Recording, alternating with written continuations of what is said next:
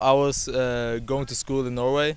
Um, I had fun, I had fun in school, but I kind of got bored and uh, I, I kind of wanted a new challenge. I think it would be an experience for me that I won't forget. That was William Onison Toms, the kicker for Tomahawk High School, and his story is as extraordinary as his leg.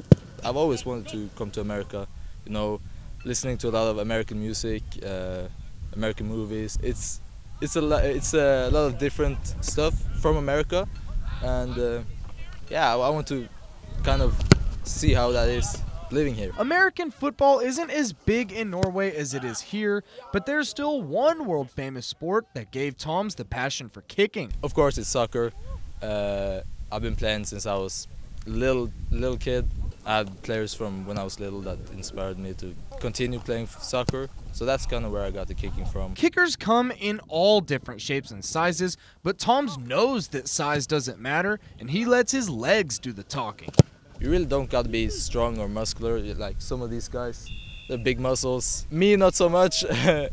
but you kind of, when you kick a ball from you're a little kid, you kind of get the feeling of how it goes. Tomahawk had a game with Northland Pines earlier today, and Toms already had their war cry picked out for this matchup. Heia Tomahawk. That's kind of go Tomahawk. Um, yeah, it's, it's kind of just Heia Tomahawk. Let's see if Toms and the Hatchets will be breaking out the famous Skol chant after their game today.